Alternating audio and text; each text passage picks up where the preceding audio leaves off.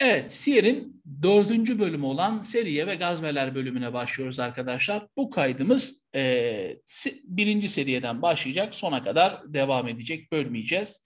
2021 MBSTS çıkmış sorusu. İslam tarihinin ilk dönemlerinde gerçekleşen silahlı mücadelelerin gazve ve seriye olarak ayrılmasında aşağıdakilerden hangisi esas alınıyor? Yani gazve ve seriyi birbirinden ayırırken biz neye göre bakıyoruz arkadaşlar? Tamamen komutana. Komuta eden kişi Hazreti Peygamber sallallahu aleyhi ve sellemse gazve, peygamber değil başka bir sahabe yönetiyorsa buna biz arkadaşlar seriye adını veriyoruz. Yani ayrılış amacı komuta eden kişi üzerinden olacaktır. 2016 DHBT çıkmış sorusu bu ayette aşağıdaki seriyelerin hangisinden bahsedilmektedir? Sana haram ayı yani onda savaşmayı soruyorlar. De ki o ayda savaşmak büyük günahtır. Bu ayet hangi seri üzerine iniyor arkadaşlar? Zaten savaş olan tek seriyemiz Batn-ı Nahle seriyesi. Neden sana haram ayda savaşmayı soruyorlar diye bir başlangıç var. Yeselûneke diye gelen arkadaşlar. Çünkü Batn-ı Nahle seriyesinde haram ay çıktı mı çıkmadı mı diye bir e, şüpheye düşüyor e, bizim sahabeler ve çıkmıştır diyerek e, bir ticaret kervanına saldırıyorlar arkadaşlar. Ve haram ayda çıkmamış olduğu için normalde haram ayda savaşmak da biliyorsunuz kültürel olarak yanlış. Böyle olunca bu iş biraz e, su kaldırıyor. İşte e, müşrikler bunu bir propaganda aracına çeviriyor. Haramayı Bak işte Haramay'da bile saldırıyorlar. Bunların hiçbir şeye saygısı yok Müslümanların, Muhammed'in adamlarının şeklinde. Ve e, tabii Müslümanlar da bu soruyu soruyor kendine. Ya tamam cahiliye döneminde biz Haramay'da savaşmıyorduk kültürel olarak. Ama Haramay'da, Haramay bize de artık haram mı? Yani hani Müslümanlar için de haram kabul ediliyor mu? Bunun üzerine Bakara suresi 217. ayet-i kerime iniyor sevgili arkadaşlar. Batn-ı Nahle seriyesi üzerine. İş seriyesi şıklarda gördüğümüz, şimdi buradan sonra böyle gideceğiz tamam mı? Tekrar tekrar aynı şeyleri söyleyeceğim. Siz diyeceksiniz ki hocam sıkıldık. Ee, e, sıkılmaya başladığınız zaman öğrenmeniz tamamlanmıştır arkadaşlar. Aynı şeyleri tekrar tekrar söylediğiniz zaman e, ve sıkılıyorsanız demek ki e, hayırlı, bereketli bir şey oluyor. Devam edeceğiz. e, bayılana kadar aynı şeyleri tekrar söyleyeceğiz. Olayımız bu aslında baktığınız zaman. İş seriyesi komutan Zeyd bin Harise arkadaşlar.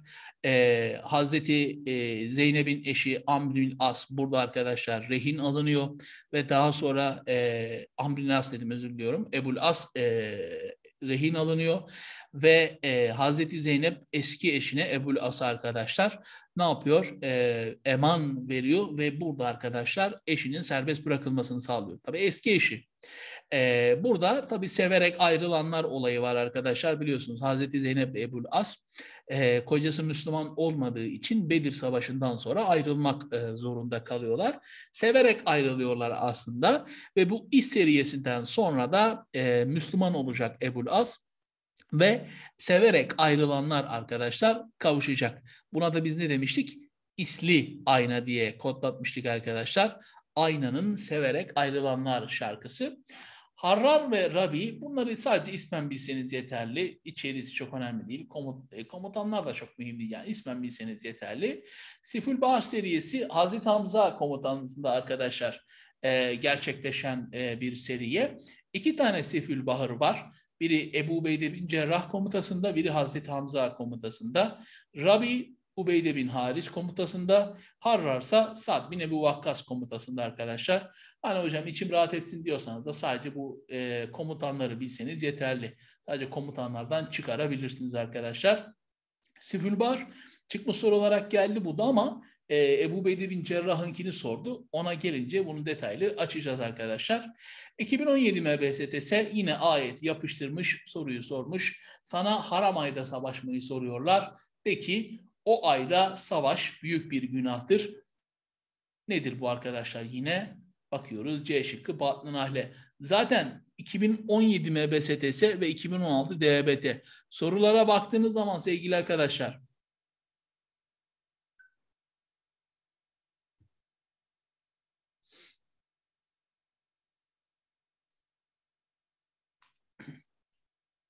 Aynı.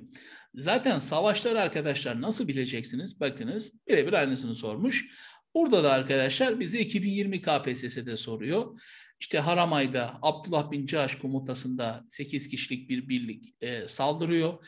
Haramay olduğu için e, Yahudiler ve müşrikler bunu kullanıyor. Bu hangisidir diye bize de bunu batlı nahle şeklinde sordu. Şimdi seriye ve gazvelerde arkadaşlar buradan sonra dikkat edeceğimiz husus ya da çalışma prensibimiz şöyle olmalı. Oturup bir seriye ile alakalı A'dan Z'ye hikaye bilmeye gerek yok. Hemen şurada mini dejavuda gösterdiğim gibi arkadaşlar anahtar kavramlar lazım bize. Yani bir rakip kim? İki anahtar kavramlar ne ve geçiyorsa hangi ayetlerde geçiyor sevgili arkadaşlar? İlgili sure ayet, içerik ve sure savaş eşleştirmesi önemli. Yani Bakara 217 Batlı Nahle sorar arkadaşlar baktığınız zaman. İşte haram ayda savunması, savaşılması, kara propaganda yapılması, peygamberin üzülmesi ve ayet inene kadar ganimetten pay almaması ve ayet inince yani Bakara 217 inince ganimetten pay alması. Ve ilk defa bu Batlı Nahle seriyesi arkadaşlar Müslümanların Kureyşleri güçlerini hissettikleri seriyedir. Şu anahtar kavramları, burada gördüğünüz anahtar kavramları iyi bilin. Asla kaçmalı hocam. Yani yeni bir havuz satın almazsa ÖSYM kaçacağını düşünmüyorum. Hazreti Muhammed devri olaylarından Duhan suresinde hakkında Batşe-i Kübra şiddetli yakalayış ifadesinin kullanıldığı, Musab bin Ümeyr, Hazreti Ali ve Sa'd bin Muaz'ın sancaktar tayin edildiği, Ukbe bin Ebu Muayt, Nadir bin Haris gibi ya da Ebu Cehil'in de şehit, yani şehit demeyeyim de öldürüldüğü hangi gazve arkadaşlar bu? Bedir gazvesi. Zaten bak hemen buradan yakalıyoruz. Batşi Kübra diye. Mesela Bedir'le alakalı daha farklı neler söyleyebiliriz arkadaşlar? İşte e, Hubab bin Münzir bizim strateji işi yapan adam. Bu isim önemli. Peygamber Efendimiz dua ediyor. Allah'ım bir avuç Müslümanı helak edersen yeryüzünde sana iman edecek kimse kalmaz. Ebu Cehil, Ukbe bin Üvaid, Nadir bin Haris öldürülüyor. Esirler ücretsiz veya okuma yazmayla serbest bırakılıyor. İlk işte bu gazveden sonra Hazreti Zeynep gerdanlığını gönderiyor eşinin serbest bırakılması için. Gerdanlık iade ediliyor. Ebu Las Hazreti Zeynep'i boşayarak Peygamber Efendimiz'e gönderiyor. Huzeyfe bin Yaman ve babası bu savaşa katıl yani katılmayacaklarına dair söz verip Medine'ye geliyorlar. Her ne kadar arkadaşlar katılmak isteseler bile Peygamber Efendimiz izin vermiyor. Oradan da şunu görüyoruz. Peygamber Efendimiz yardıma ihtiyacı olsa bile ya da bir adama bile ihtiyacı olsa bile arkadaşlar ne yapmıyor? Sözlerini yedirtmiyor dostlarının. Bu da önemli bir ayrıntıydı. 16'da kalalım 2021 KPSS. Burada arkadaşlar bir ara verelim. 30 dakikalık ara vereceğiz. Saat tam 9'da bir yemeğinizi yiyin. 9'da başlayalım. Buradan artık sona kadar gideceğiz arkadaşlar. Muhtemelen ara vermem daha. Çünkü daha e, sağlam olsun. Konular daha pekişsin. Üst üste gelsin. Burada bir 30 dakika ara verelim. Daha sonra saat tam 21.00'da buradayız inşallah sevgili arkadaşlar. Kaydı duraklatıyorum. Evet kaydımızı tekrar başlattık sevgili arkadaşlar. 16 numaralı sorumuzdayız. 2021 KPSS'de karşımıza çıkmıştı. Bu parçada anlatılan olay hangi gazve esnasında gerçekleşmiştir diyor. Hz. Muhammed bir savaş öncesinde ordusunu konumlandırmak için talimat verdi. Hubab bin Münzir Hz. Muhammed'e gelerek ey Allah'ın Resulü burayı karargah olarak siz mi seçtiniz yoksa bu yer vahiy ile mi bildirildi diye bir e, ifadede bulunuyor arkadaşlar. İsim kim? Hubab bin Münzir.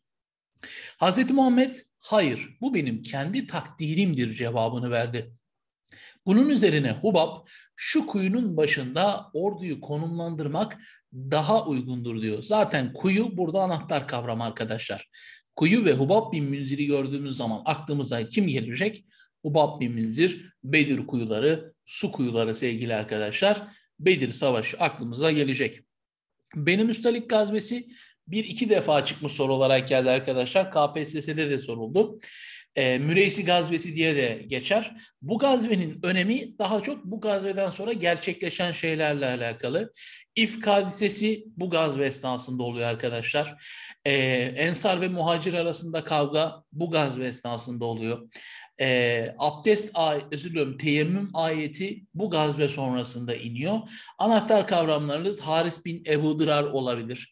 Peygamber Efendimiz bu Haris bin Ebu Dırar'ın kızıyla evlenince arkadaşlar bu benim Müstalik e, gazvesinde oradaki kabileler arkadaşlar e, ne yapıyorlar? Müslüman olacaklar.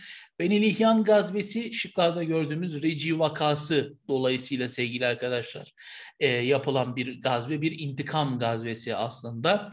Huneyn gazvesi hiç çıkmış sorusu yok. Bedir ve Huneyn bildiğiniz üzere arkadaşlar iki, ikisi de ismen Kur'an-ı Kerim'de geçen gazveler diğerlerine oranla.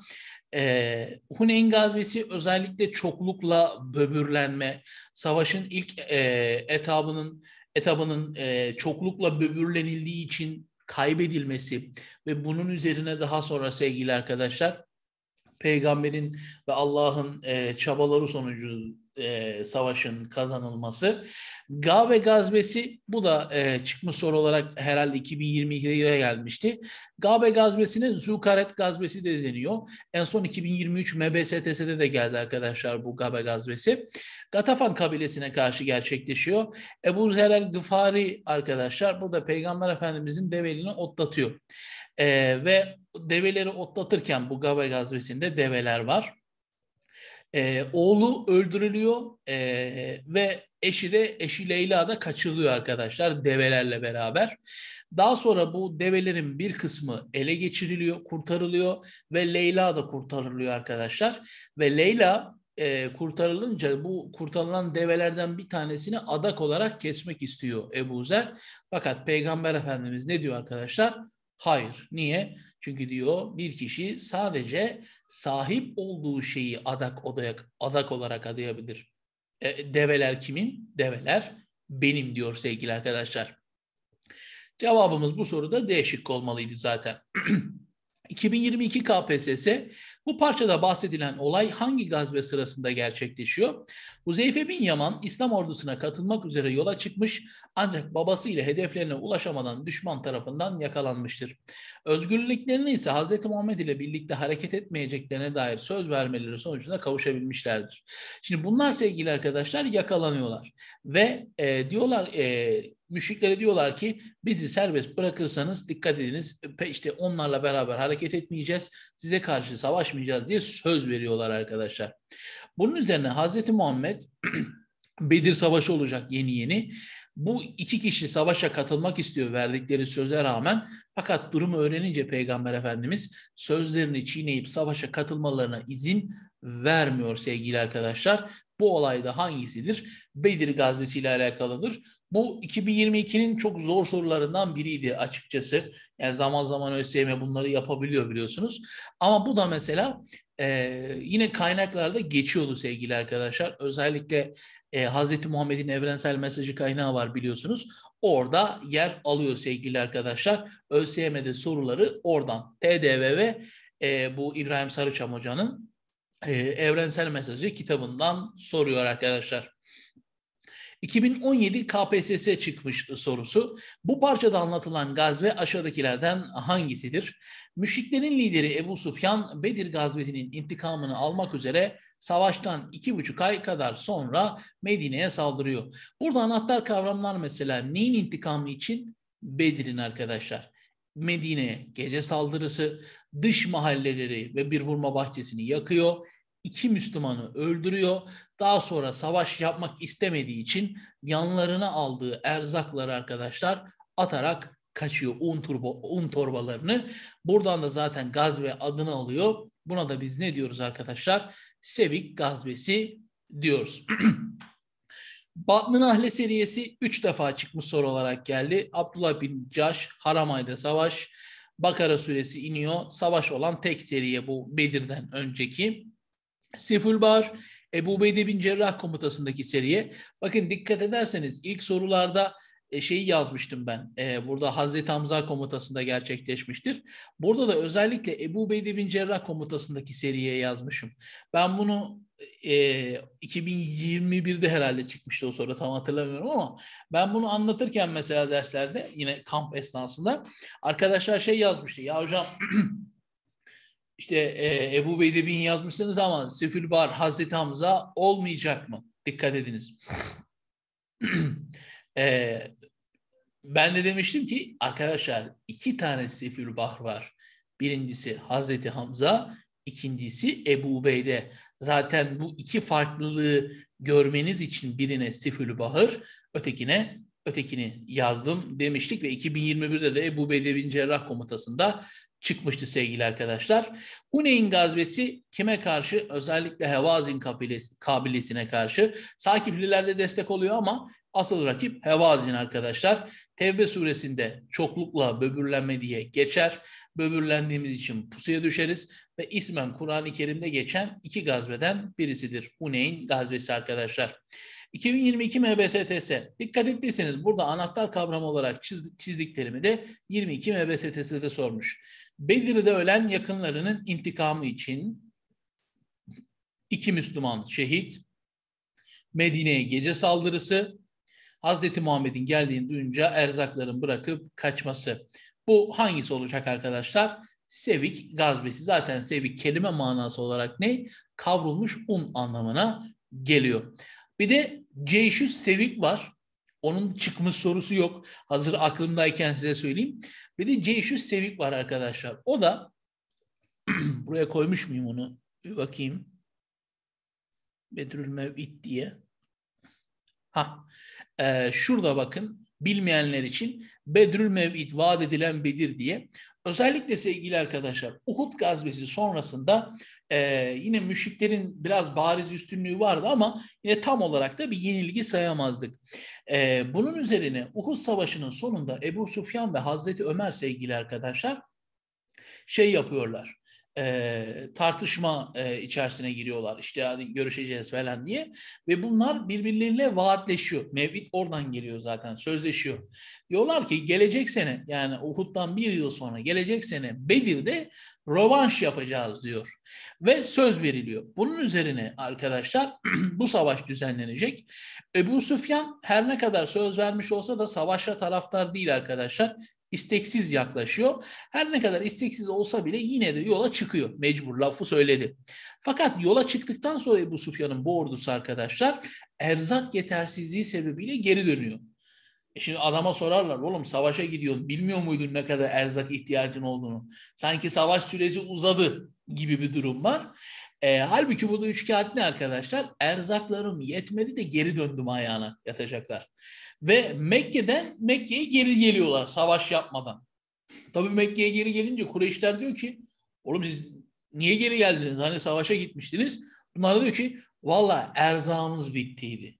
O yüzden Mekkeli Kureyşler arkadaşlar bu kaçan diyelim orduya Ceyşük Sevik yani kavut ordusu diyor arkadaşlar. Yine o dönemde de tabii e, kavrulmuş unları yanlarına alıyorlar. Lan bırak e, bizim yiyorsun e, Tabii ha. Aynen öyle. Ya, ha ha ha ne ya. Tabii tabii e, kavut ordusu erzak bitti. Tabii tabii. Tabii tabii. Biraz elimle konuş hesabı. E, buna da dikkat edin. Ceyşü Sevik deyince de ya Sevik deyince aklıma geldi. E, bu Ceyşü Sevik derse hangi gazvede arkadaşlar? Bedrül Mev'id tamam mı? Bedrül Mev'id gazvesinde oluyor. Ali yine iş başında. 2020 ve BSTS çıkmış sorusu.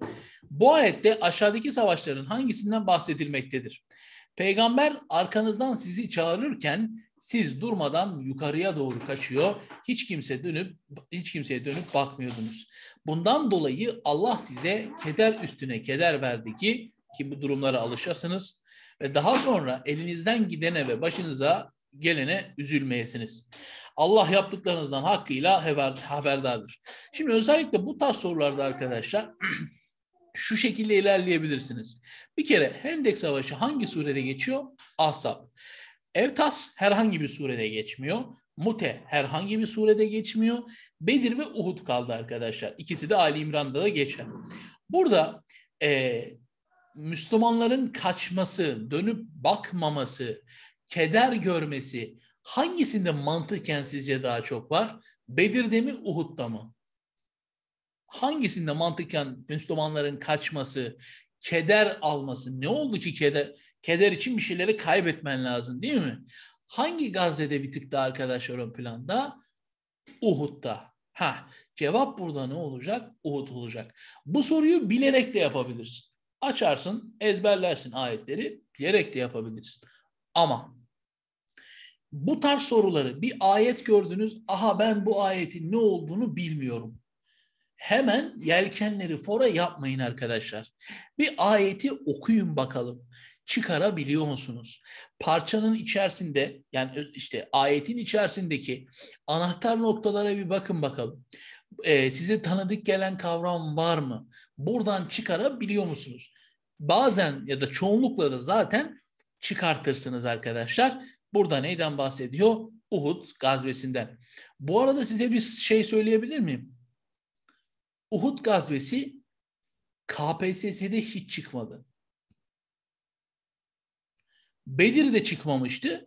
Bedir de arkadaşlar 2022 ve 2021'de arka arkaya soruldu. Hendek de 22-21'de soruldu.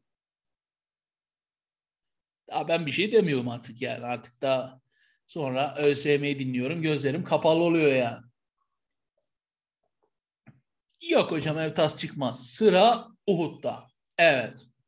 Sıra Uhud'da. Şimdi diyeceksiniz ki hocam sıra Uhud'da. Uhud'u neyden sorar? Hemen arkadaşlar ne yapıyoruz? Uhud'u neden sorarları da söylüyoruz. Uhud'u nereden sorar? Bir, Uhud niye oluyor arkadaşlar? Anahtar kavramları. Bedir gazvesinin rövanşı. İki, ne oluyor burada? Peygamber Efendimiz işte, işte ha bu şeyler var ya istişare yapıyor ve arkadaşlar ne yapalım ne edelim diye konuşuluyor. Meydan muharebesi kararı alınıyor sevgili arkadaşlar. Daha sonra bakıyorlar ki peygamber meydan muharebesine isteksizdi. Ee, sahabe diyor ki ulan ısrar ettik yanlış mı yaptık diye. Daha sonra diyorlar ki efendim tamam hani e, meydan muharebesi yapmasak da olur falan. Ama peygamber ne diyor arkadaşlar? Raconu kesiyor. Bir peygamber giydiği zırhı savaşmadan çıkarmaz. Öyle yazsak daha güzel olmuş aslında. Bir peygamber giydiği zırhı savaşmadan çıkarmaz. Yani şey olur ya e, bu mafya dizilerinde falan da olur ya bazen silah çıkar. Bizde silah patlamadan yerine geri girmez baba falan. Öyle biz zırhı giydik mi 30 tane müşrik kellesi almadan çıkartmayız baba bizde böyle. Ve Abdullah İbni Übey arkadaşlar her zamanki gibi satış yapıyor. Bununla alakalı bir bilgi kartı da yapacağım. Sat, Abdullah İbni'nin satışları diye. tamam mı? Meydan muharebesi istemiyorum diyor. Kaçıyor arkadaşlar ordudan. Aynı en tepesi. Halid bin Velid, Musab bin Ümeyr ve Hazreti Hamza şehit. Kur'an'da Uhud gazvesinden bahsederken özellikle Ali İmran suresinde geçer arkadaşlar. Yara alma ifadesi kullanılır. Siz bir yara aldıysanız ifadesi kullanılır. Ebu Süfyan ve Hazreti Ömer sözleşiyorlar zaten. Burada Bedrül Mevit diye söylemiştik sevgili arkadaşlar. 2020 DHBT çıkmış sorusu. Hazreti Muhammed Uhud Savaşı'ndan döndükten bir gün sonra Kureyş ordusunun Medine'ye baskın düzenlemek istediğine dair bir haber aldı. Uhud'un bir gün sonrası hemen sonrası arkadaşlar hangisi olacak? Hamraül Esed. Bu soruyu ben direkt tahmin etmiştim biliyor musunuz? 2020'de EBT kamp yaparken direkt Hamra Esed gazvesi çıkacak dedim bak. Direkt net isim verdim yani. Tamam mı? O zamana kadar sorusu yok. Aha aynısını Uhud'da söylüyorum bak. 23'te çıkacak. Hatta yazmışlar soruyu şu an. Tamam mı? Bekliyor sizi. Gelsene bizi beni çözse diye bekliyor. O kadar bak. Bir gün sonra Kureyş ordusu arkadaşlar hem düşmanın baskınını önlemek hem de yıkılmadık ayaktayız e, arkadaşlar mesajını vermek amacıyla takip ediyoruz ve Hamraül Esed denilen yerde 5 gün konaklayıp ateş yakıyoruz sevgili arkadaşlar. Bu da Hamraül Esed gazvesi diye geçer. Bu Hamraül Esed'i size sorarsa bir, Uhud'un bir gün sonrasında düzenleniyor. Çünkü bu DHBT sorusu size de sorabilir bir gün sonrasında düzenleniyor. Sadece Uhud gazvesine katılmış 500 kişi alınıyor. Ateş yakılıyor ve yara aldıktan sonra ifadesi diye geçer. Kur'an-ı Kerim'de yara alma ifadesiyle hangi gazve ifade ediliyordu sevgili arkadaşlar?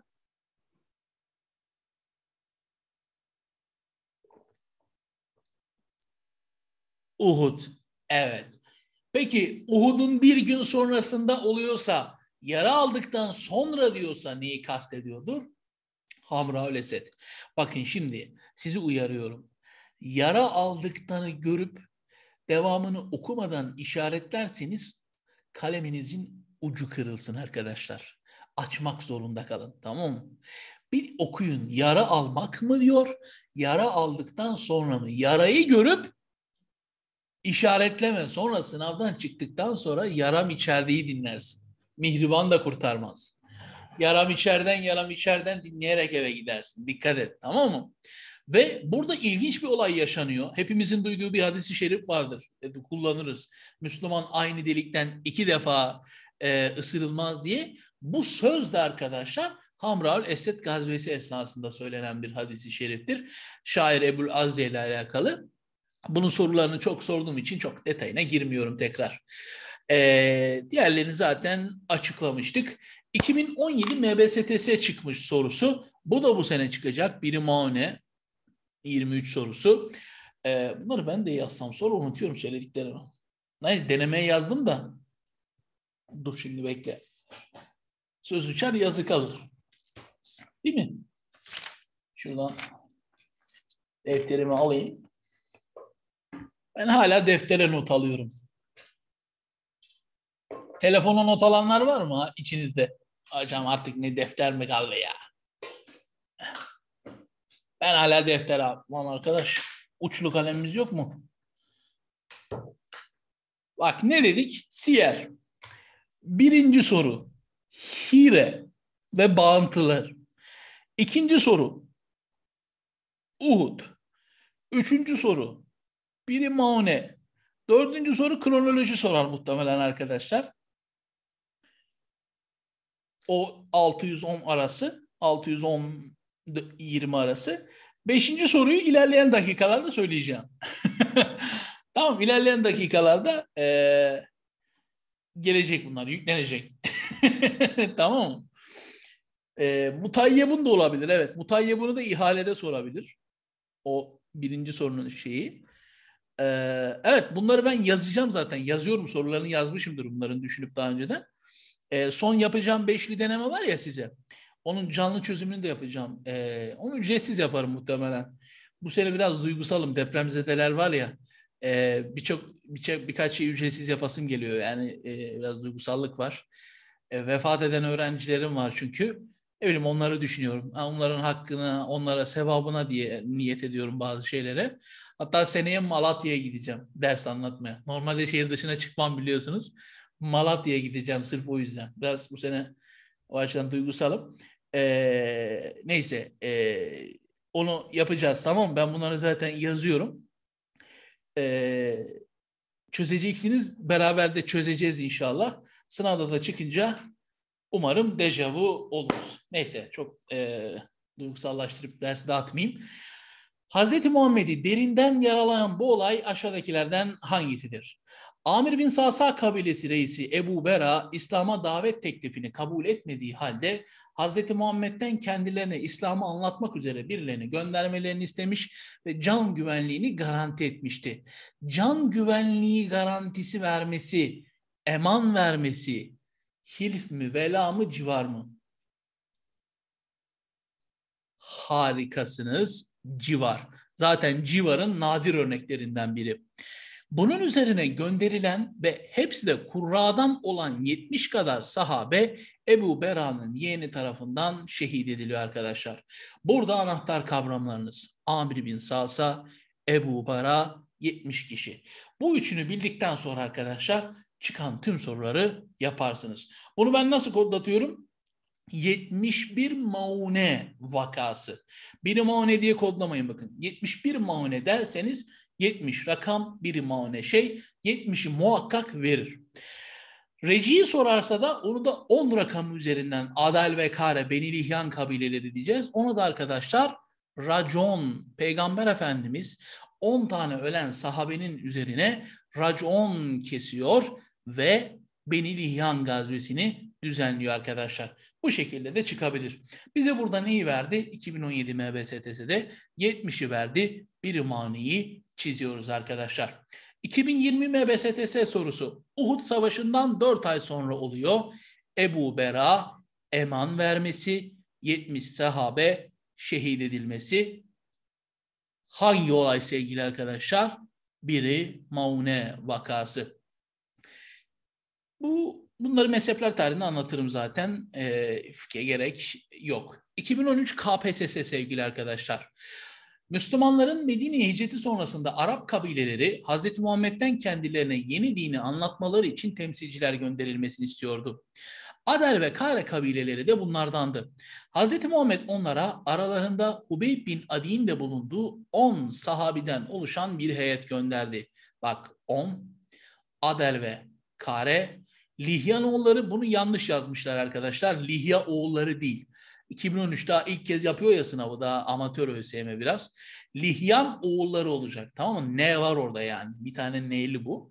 Lihyan oğulları bunlar şehit ediyor. Bunun üzerine Peygamber Efendimiz zaten Beni Lihyan gazetesi düzenleyecek. Hangi vaka bu sevgili arkadaşlar? Dikkat ediniz.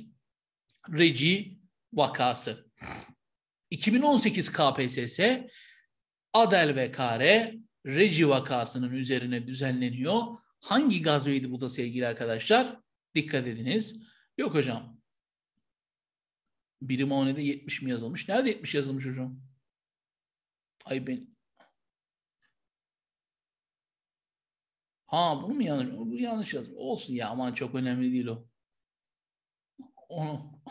Ama iyi iyi görmüşüm. Niye 75 yazmışlar acaba? Yani yazmışım daha doğrusu.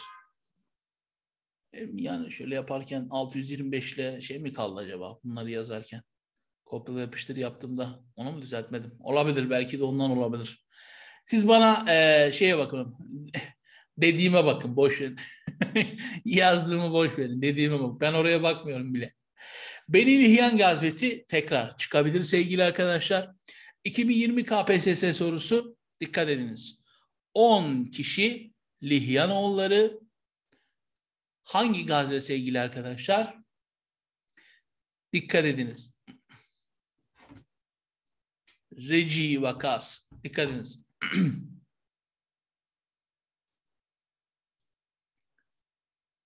ha, Aa, 2013'ten bir farkı yok. Şimdi ben şunu gördüm üstadlar. Dikkat ediniz. Ee, 2018 ve 2020'de Reci'yi sormuş. Biri Mauni'yi hiç sormamış. O yüzden bu sene bence biri Mauni'yi sorabilir. Çünkü bak 17'de gelmiş. 20'de gelmiş. Hiç KPSS'de sorusu yok. Bir tane biri Maune e, sorar. Neyiniz eksik yani? Yani değil mi? Size de sorabilir bence. Size iki tane reci sormuş, diğer tarafa iki tane biri maune sormuş. Tam tersine dönebilir arkadaşlar şartlar. Dikkat ediniz buna. 2022 KPSS sorusu Arap Yarımadası'ndaki Bedevi kabileler zaman zaman Medine'ye baskınlar düzenleyerek Müslümanlara rahatsızlık veriyorlardı. Yine böyle bir girişimde bulunan Fezarra kabilesi mensupları Hz. Muhammed'e ait 20 deveye el koyup develerin çobanlığını yapan Ebu Zer'in oğlunu şehit etmişlerdi. Bunun da adı Ebu Zer arkadaşlar. Ebu Zer'in oğlu Zer. Bu e, şeylerde de vardır ya genellikle Brezilyalılarda. E, Junior. Neymar Junior. Ahmet Junior diye. Bu e, Ebu Zer de kendi adını koymuş aslında baktığınız zaman. Bu parçada bahsedilen gazve hangisi arkadaşlar? E, burada mesela oğlu karısı da kaçırılıyor mesela. Yerinde kalmaması. E, bu hangi gazve? Gabe gazvesi arkadaşlar. Karısı Leyla da kaçırılıyor. Bak ÖSYM bunu söylememiş mesela. Leyla kaçırılıyor. Sonra bizim Ebu Zer e, Rafet Er Roman'dan Leyla şarkısını açıyor arkadaşlar Spotify'dan. Sürekli bunu dinliyor. Dikkat ediniz. E, Leyla, Leyla, Leyla diye gezerken bir anda Leyla kaçıyor geliyor. Ebu Zer görünce Leyla'yı diyor ki aha diyor keseceğim ulan keseceğim lan diyor bir tane deve. Nasıl olsa ben otlatıyorum. Peygamber de diyor ki Sayın Ebu Zer yani de, develer e, benim. Lütfen herkes sahip olduğuna e, niyet etsin. Dımetül Cendel de sevgili arkadaşlar. Bu Dımetül Cendel şey e, bir tane Dımetül Cendel yok. Üç tane var. Yani birden fazla Dıvmetül Cendel var. Üç farklı zamanda işte Tebük gazvesi zamanında e, düzenlenen var. Ondan Mekke'nin fethinden önce düzenlenen var. Yine ilk dönemlerde düzenlenenler var. Üç farklı ta, üç tane farklı Dıvmetül Cendel var. Bir tane yok arkadaşlar. Bunun e, detaylarına da birazdan e, girerim. Yani bunu sormuştu bir arkadaş. Ona cevap vermiş. Olayım. Aynı e, Siful Bahri gibi bir tane değil yani. Onu yazmış mıyım buraya bilmiyorum ama Dımetül Cendel'i bakayım. Yazmadık herhalde Dımetül Cendel'i hatırlamıyorum ama çok mühim değil ama e, Dımetül Cendel 3 tane arkadaşlar. Yani soru olarak ben çok geleceği kanaatinde değilim ama e, soran arkadaşlar için onu söylemiş olalım. 2015 KPSS. Ey iman edenler! Allah'ın size olan nimetini hatırlayın. Hani size ordular saldırmıştı da biz onlara karşı bir rüzgar ve sizin görmediğiniz ordular göndermiştik. Allah ne yaptığınızı çok iyi görmekteydi. Onlar hem yukarınızdan hem aşağı tarafınızdan üzerinize yürüdükleri zaman gözler yıldığı, yürekler gırtlağa geldiği ve siz Allah hakkında türlü teyle bak şüpheye düşüyorsunuz diyor. Düşündüğünüz zaman işte orada iman sahipleri şiddetli bir sarsıntıya uğramışlardı. Bu hangi gazve arkadaşlar? Ayetinde geçtiği zaten oradan da geçecek. Ahzab gazvesi sevgili arkadaşlar. E, Hendek Savaşı'ndan bahsediyor. Zaten diğerlerine baktığımız zaman, ha, zaten sure isimlerini de vermemiş de, e, Hendek Savaşı'nda zaten saldırılar dört bir yandan oluyor arkadaşlar. Etrafımız sarılıyor. Hatta Beni Kureyze kabilesinin e, aynı zamanda meydan vurma tehlikesi ortaya çıkıyor arkadan vurma tehlikesi arkadaşlar ortaya çıkıyor ve bunun üzerine ne yapıyoruz? Ee, bunun üzerine e, kaçanlar var. Münafıklar içerisinde işte pozisyonunu terk edenler var. Abdullah İbni Übey'in bir duyurusu var. İşte ey Yesripliler siz burada Muhammed'i koruyorsunuz ama arkada bak Kureyzalılar gidecek çoluğunuzu çocuğunuzu öldürecek diye.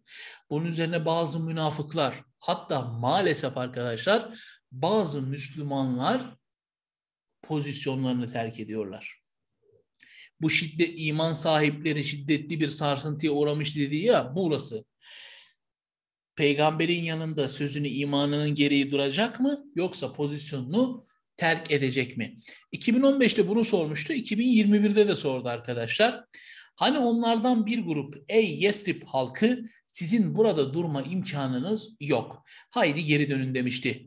Onlardan bir başka grupta evlerimiz açık diyerek peygamberden izin istiyorlardı.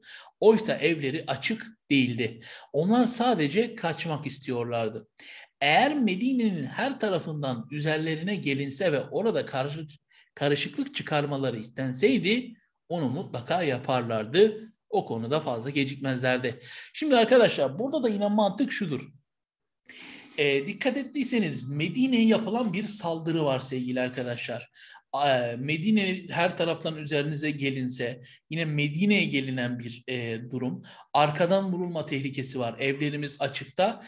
Arkadan vurulma tehlikesinin yaşandığı, işte çoluk çocuğun e, riskte olduğu ve Medine'ye saldırılan savaş hangisi diye düşündüğünüz zaman arkadaşlar Hendi'yi yine çıkara biliyorsunuz. Ama dediğim gibi bunu yapabilmek için biraz sakin ve kendinize güvenmeniz lazım. Eğer sakinliğinizi koruyamazsanız zaten ki sınav anında buna her şeyi yorum yaparsınız. Ulan acaba Hayber'de böyle bir şey oldu muydu? Bak Tebük'te de olmuş olabilir. Bak bu işte bir şey var. Bedir'de de oldu muydu acaba? Ya da olmasa bile şunu söylersiniz kendinize. Ulan kesin Bedir'de de vardır böyle bir şey. Ben bilmiyorumdur. Kesin kesin ben zaten çalışmamışımdır, gözümden kaçmıştır. Kesin kesin ben bunu boş bırakayım. Bu da olur arkadaşlar. Heh. Tamam mı? Bu ayetleri, bu tarz soruları nasıl yaparsınız arkadaşlar? Bu tarz soruları ezberleyerek yapamazsınız. Bu tarz soruları bilerek de yapamazsınız. Bu tarz soruları yapacağınız strateji şudur arkadaşlar. Ee, kitap hangi konu anlatı kitabını çalıştığınızdan bilmiyorum. Ee, ama biz e, ben bunu şöyle yapmıştım bu sene e, bizim öğrencilerimiz için. E, ben yazdım. Belki kitap uzadı mı? Uzadı. Ama bir kere okusa yapar e, bakış açısıyla konuyu değerlendirdim arkadaşlar. Sizler de Google'a yazabilirsiniz isterseniz. Oradan da bakabilirsiniz. Şu şekilde nerede hemen seriye ve gazveleri Şöyle bakın mesela işte e, Bedir Savaşı'ndan bahseden ayetler. Tek tek yazdım ben bunları. Bir kere okusun. Ya da işte e, Uhud gazvesinden bahsedenler. Hendek gazvesinden. Mesela bak Hendek gazvesinden e, bahsedenler. Tamam mı?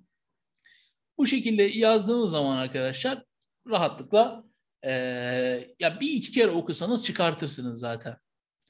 Mesela şunu bir kere okusaydın onlardan bir grupta şöyle demişti. Devam ediyor. Oysa olsun daha önce arkadan dönüp kaçmayacaklarına dair söz vermişler bu ayetin devamı. Bunu böyle de çözebilirsiniz arkadaşlar. Bende bunun pdf'i yok. Kitabı olan, dejavu olan arkadaşlara isterseniz böyle Bedir, Hendek, Uhud. Bu üçü önemli daha çok. Diğerleri önemli de Bedir, Hendek, Tebük, Uhud bir de. Tebük de çok önemli. Tebük çok önemli. Tebük çok önemli. Rica ederseniz böyle size çekip atarlarsa arkadaşlar gruba e, o şekilde de çözebilirsiniz. Tamam mı?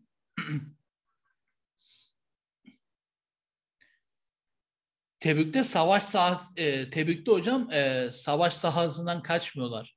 Savaşa hiç gelmiyorlar. Yani Tebük'te şöyle olmuyor.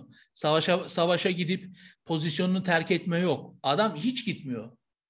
Piyasada yok yani. Kayıp. Arıyorsun bulamıyorsun. Tamam mı? Dikkat edin. Burada pozisyonlarını terk ediyorlar. Geri kaçalım diye. Şey bu.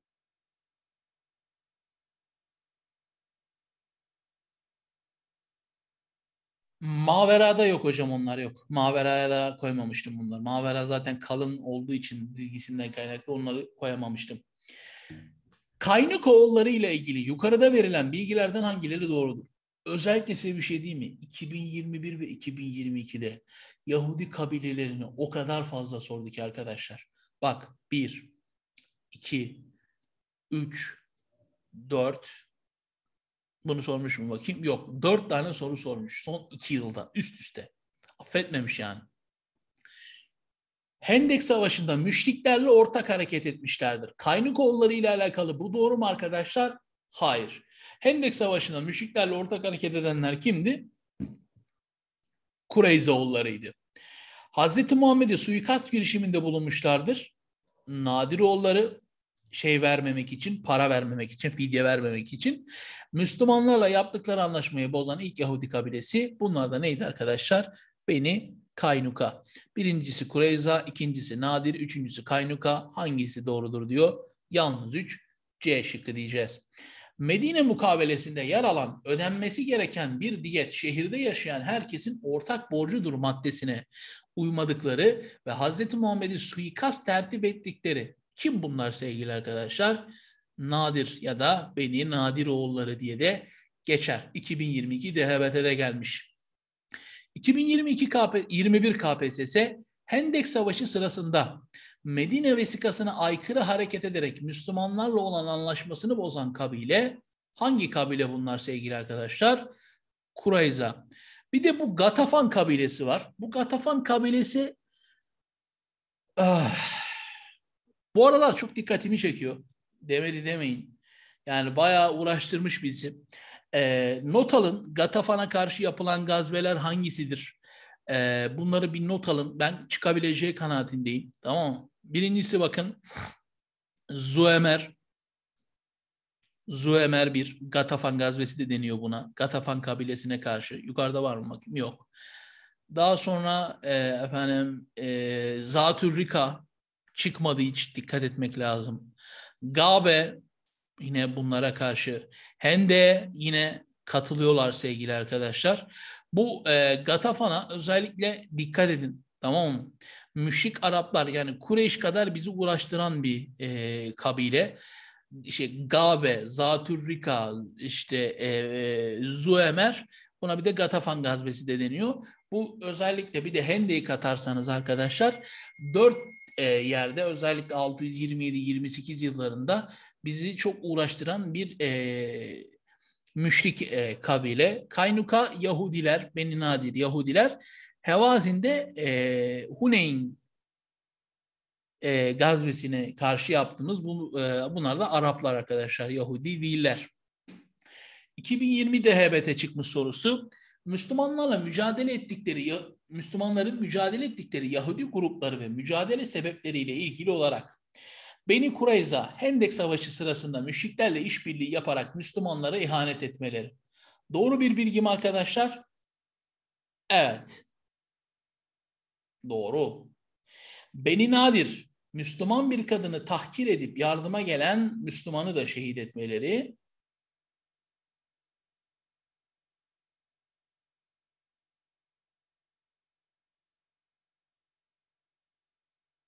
Yanlış. Bu kaynuka. Evet arkadaşlar. Nadir suikast. Tamam mı? E, suikastlar nadir olur diye aklınızda kalabilir. Hayberliler Müslümanlara karşı savaş hazırlığı zaten rahat durmuyorlar. Doğru. Buraya ne diyeceğiz arkadaşlar? 1 ve 3 D şıkkı. Dikkat edin bakın. Önce 2020 DHBT'de sormuş. Sonra 2021 KPSS'de sormuş. Sonra önce özür diliyorum 21 MBSTS'de sormuş. Daha sonra 21 KPSS'de sormuş. Sonra gelmiş 22 DHBT'de bir daha sormuş. Yani arka arkaya aynı konuları sormayı sever. O yüzden mesela hemen 2023 MBSTS sorularını açtığımız zaman arkadaşlar şunları mesela e, hemen dikkat edeceğiz.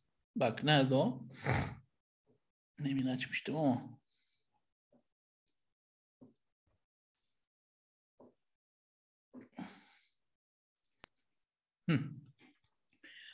Mesela bak çıkma sorularına bakıyoruz şimdi. MBSTS'de neyi sormuş? Cahiliye döneminden sormuş. Hayber'le alakalı bir soru sormuş. Hayber'e Yıldız Atın KPSS'de hiç sorusu yok. İlk defa sorusu geldi. Buraya da bir Hayber'de yazıyorum. İlk defa gelmiş. Bize de gelir. Bayram değil, selam değil. Risaletin Medine dönemi. Medine dönemi kronoloji gelecek arkadaşlar. Bu beş olayı yazın. Tamam mı? Bu dört olayın kronolojisi de gelebilir. Ya da değil gibi. tamam mı? Ee, ne bu istişare? Bu okuma anlama çok önemli değil. Hazreti Ebu Bekir sorusu var İslam tarihinde. Bir de Hazreti sorar bence bu yıl. Bayağıdır sormadı. Mevali zaten sordu. Ee, tamam. Kaç oldu? 1, 2, 3, 4, 5, 6, 7. 7 tane soru oldu. Ee, 3 tane daha bulduğumuz zaman kapatıyoruz arkadaşlar. Efendim şurası 4 olay dediğimiz şunlar. Cevap bu. Habeşistan'a hicret, hüzün yılı, İsra, Akabe. Bu dördünün kronolojisi hocam. Dikkat edin. Ben bunları yazacağım size rahat olun. Ama şimdi de söylüyorum yani dikkat edin diye. 2020 KPSS sorusu Haris bin Ebu Dırar'dan çıkacak arkadaşlar. Bu başka yerden çıkarmanız pek mümkün değil. Haris bin Ebu Dırar daha sonra bunun kızıyla Peygamber Efendimiz evleniyor ve daha sonra bu kabile Müslüman oluyor. Ancak benim Müstelik gazvesini bizim için ya da Müreysi gazvesini bir de buradan da çıkar. Zaten Müreysi kuyusu diye yazar burada bir yerde. Heh. Buradan da çıkarabilirsiniz. Ee, benim Müstelik gazvesini bizim için önemli kılan taraflar neydi arkadaşlar? Bir, İfk hadisesi. Abdullah İbni Übey. Ensar ve muhacir kavga. Abdullah İbni Übey tetikliyor bunda. Yine Münafıkın suresi iniyor. Teyemmüm ayeti nazil oluyor. Peygamber Efendimiz Haris bin Ebu Dırar'ın kızıyla evleniyor ve e, bu kabile Huza kabilesi Müslüman oluyor sevgili arkadaşlar. Hangi gazve? Beni Müstalik. 2022 MBSTS'de ÖSYM sormuştu. Bu parçada bahsedilen hadiseler hangi sırasında yaşanmıştır diye. Hazreti Muhammed Müslümanlara saldırı hazırlığında olan bir kabileyi kuşattı.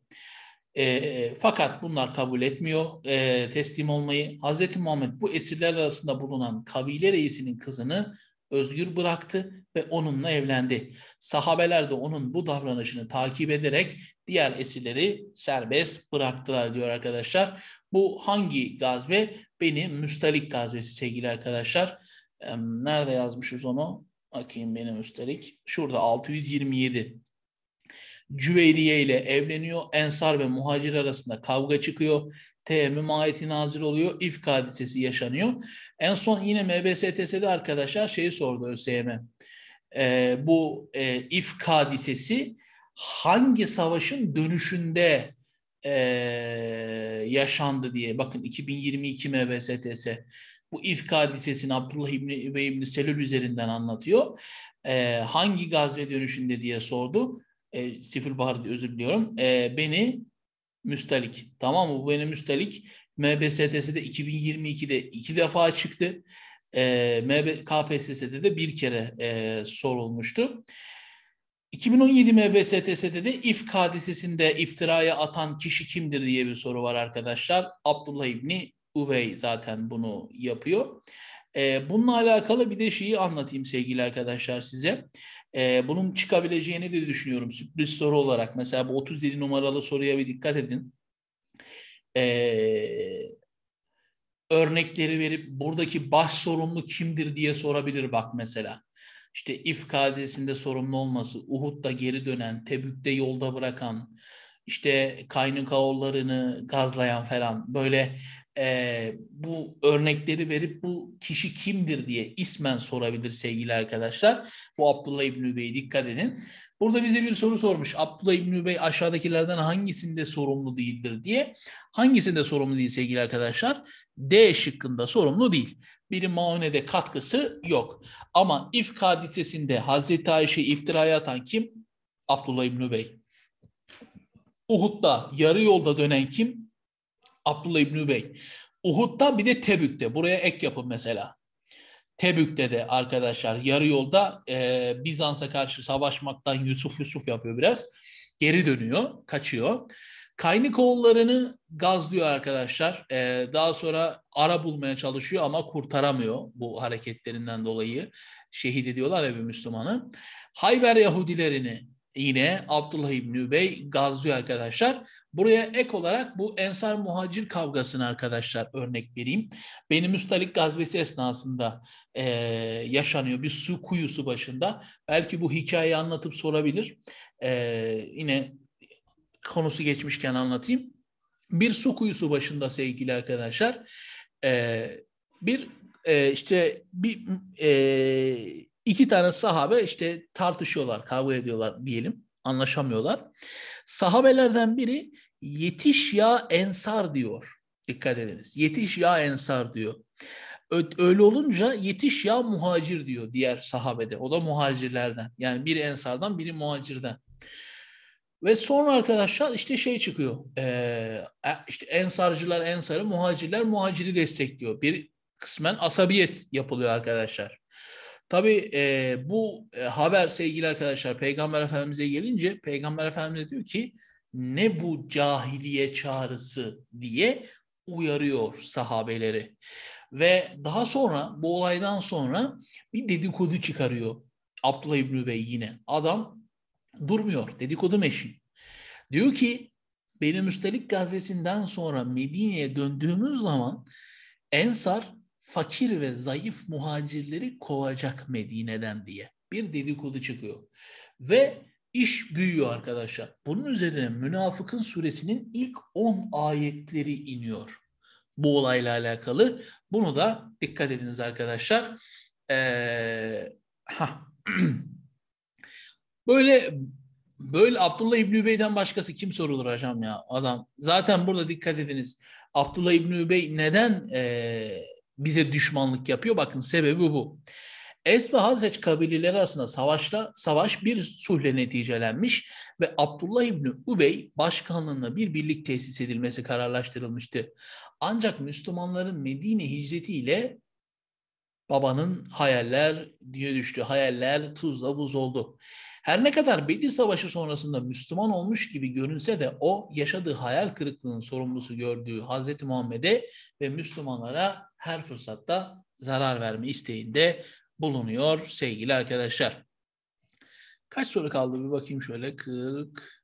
Bir 10 dakika ara versek aslında güzel olabilir. Aynen. Bir 10 dakika ara verelim üstadlar. E, ee, 50 geçiyor. 22.00'da tekrar başlayalım. Bir yarım saat e, 45 dakikada yine bir ders yaparız. Daha sonra sevgili arkadaşlar Siyer'i tamamlarız. Yarın da programdaki diğer e, dersimizden devam ederiz inşallah. Kaydı burada duraklatıyorum. Bir 10 dakika ara verelim. 9 dakika hatta. 2017 MBSTS sorusu sevgili arkadaşlar. 40 numaralı soruda Cabir bin Abdullah'ın bu rivayetinde işaret ettiği olay aşağıdakilerden hangisidir? O gün 1400 kişiydik. Allah'ın Resulü bize şöyle buyurdu. Siz şu anda yeryüzünde bulunan en değerli topluluksunuz. Bu hangi olayla alakalı sevgili arkadaşlar? Hudeybiye Antlaşması ile alakalı. Hudeybiye Antlaşması'nda yola çıkarken dikkat ediniz Cabir bin Abdullah bunu söylüyor. Spesifik bir bilgi arkadaşlar. Mesela Uhud'da ne diyordu? Giydiği zırhı çıkarmaz savaşmadan. E, Bedir'de dua ediyordu. Allah'ım işte bu bir avuç e, Müslümanı helak etme. Sana inanacak kimse kalmaz. Hendek Savaşı'nda arkadaşlar Müslümanların arkadan vurulma tehlikesine karşı pozisyonlarını terk etmesi e, bu e, minvalde değerlendirilebilir. Hudeybiye Antlaşması burada cevabımız olmalıydı. Ee, Hazreti Osman'ın alıkonulması bunun üzerine yapılan biata biz ne diyoruz arkadaşlar? Rıdvan biatı adını veriyoruz. Bunun üzerinde çok durmaya gerek yok. Bu Hudeybiye Antlaşması esnasında oluyor zaten biliyorsunuz sevgili arkadaşlar. 2018 MBSTS sorusu bu madde aşağıdakilerden hangisidir? Hicretin 6. yılında Müslümanlar ile müşrikler arasında Hudeybiye Antlaşması imzalanmıştır. Büyük oranda müşriklerin istekleri doğrultusunda şekillenen antlaşmanın bir maddesi doğrultusunda, üzerine bir maddesi Müslümanlar arasında huzursuzluğa neden olmuş ısrarla koydurdukları bu maddenin kısa bir süre sonra aleyhlerine dönmesi üzerine müşrikler Hazreti Muhammed'e gelerek söz konusu maddenin kaldırılması talebinde bulunmuşlardır sevgili arkadaşlar. Bu hangi e, madde? Elbette ki arkadaşlar bakalım. Müslümanlar Kabe'yi ziyaret edebilmek için bir yıl beklemek zorunda kalacaktır. Bu değil arkadaşlar. Arap kabileleri istedikleri tarafta ittifak kurabileceklerdir. Bu da değil. Bu aslında özellikle İslamiyet'in yayılmasının en, en önemli maddelerinden biri arkadaşlar. Rahat e, yayın fırsatı buluyor. Kureyş'ten Müslümanlara sığınanlar iade edilecek fakat Mekke'ye iltica edenler iade edilmeyeceklerdir. İşte aslında cevap bu arkadaşlar. Şimdi mantıken baktığınız zaman bu soruda C'yi işaretlemek mümkün değil. Dersiniz ki ulan bunu niye iptal etsin adam? En çok işine yarayan madde budur değil mi baktığın zaman? Müslümanlara sığınanlar iade edilecek fakat Mekke'ye iltica edenler yani Mekke'ye kaçanlar iade edilmeyecek. Fakat bu madde kaldırılıyor arkadaşlar. Niye? Çünkü önceden Kureyş'ten Medine'ye geldiğinde yani Müslümanlara sığındığında biri Müslüman oluyor, Medine'de kalıyor. Fakat bu şekilde Mekke'den Medine'ye kaçanlar Medine'ye alınamayacağı için bu kişiler yine kaçmaya devam ediyor. Fakat Medine'ye de giremedikleri için Hudeybiye Antlaşması'ndan dolayı bunlar arkadaşlar bir yerde toplanıyorlar ve kalabalık bir ekip oluyorlar. Daha sonra bunlar Kırk haramiler gibi aynı. Sadece Kureyş kervanlarına saldırıyorlar. Ticari olarak zarar vermek adına. Çünkü anlaşma maddesini koyuyorlar ya gidemezsiniz diye. Baktı ki bunlar e, sayısı günden güne artıyor. 100-200 kişi oluyorlar arkadaşlar. Sürekli Kureyş kervanlarına saldırıyorlar. Tek amaçları bu. Bu sefer Mekke'den bir yine e, heyet gidiyor Medine'ye. Diyorlar ki bu maddeyi kaldıralım. Niye? Çünkü bu madde bize faydadan çok zarar getirdi. Bu kaçanları en azından Medine'ye al da ne yapmasınlar? Bizim kervanlara saldırmasınlar. Sahip çıksınlar. Sın, sahip çık bunlara Peygamber Efendimiz'e diyorlar. Ve bunun üzerine arkadaşlar bu madde kalkıyor. Ve özellikle bu madde imzalanırken de acayip kavga dövüş oluyor. Özellikle Hazreti Ömer bu maddeye aşırı itiraz ediyor arkadaşlar. Fakat yine de yazılıyor.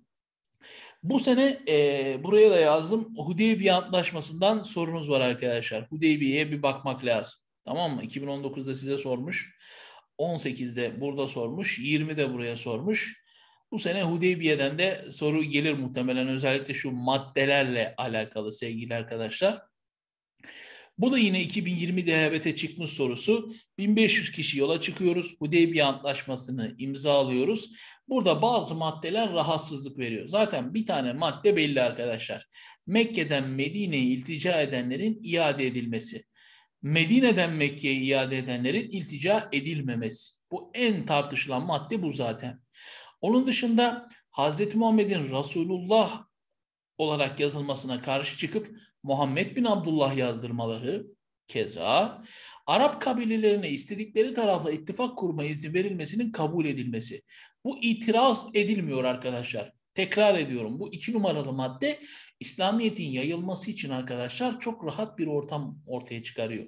Niye? Önceden örnek veriyorum X kabilesi İslamiyet'te ilgilense bile Kureyş'le eğer ticari bir ilişkisi varsa arkadaşlar bizde görüşmüyordu. Hani ticaretin baltalanmasın diyor adam. Fakat bu anlaşma imzalanınca artık görüşmek problem olmamaya başlayınca İslamiyet daha da yayılıyor. O yüzden bu iki numaralı madde itiraz almıyor. Fakat Bismillah, Bismillahirrahmanirrahim yerine Bismikallahümme yazdırmaları, Resulullah yerine Muhammed bin Abdullah yazdırmaları ve en çileden çıkaran Mekke'den Medine'ye kaçarsa iade edilecek, Medine'den Mekke'ye kaçarsa iade edilmeyecek arkadaşlar. Bu üç madde en çok itiraz alan maddeler. Bu e, özellikle bu minvalde sorar zaten. Bu C şıkkı bir ve üçüncü öncül. Bu üç öncüle özellikle dikkat edelim arkadaşlar. Hudeybiye Antlaşması ile alakalı. Aşağıdakilerden hangisi Hudeybiye Antlaşması'nın sonuçları arasında gösterilemez? İslam'ın hızla yayılmasına imkan verdi mi? Verdi. Hayber'in ve Mekke'nin fethine zemin hazırlıyor mu? Hazırlıyor arkadaşlar. Çünkü Hudeybiye Antlaşması'nı imzalar imzalamaz 20 gün sonra Hayber'in üzerine gidiyor Peygamber Efendimiz. Niye? Çünkü müşriklerle bir ateşkes imzalar imzalamaz Hayber'in üzerine gidecek. Hayber düşüncede Mekke'nin üzerine gidecek arkadaşlar. İslam toplumunun müşrikler tarafından siyasi bir güç olarak tanınması beraberinde getiriyor. Müslümanlara Medine dışındaki topluluklara ilişkileri geliştirmek için ortam oluşturuyor.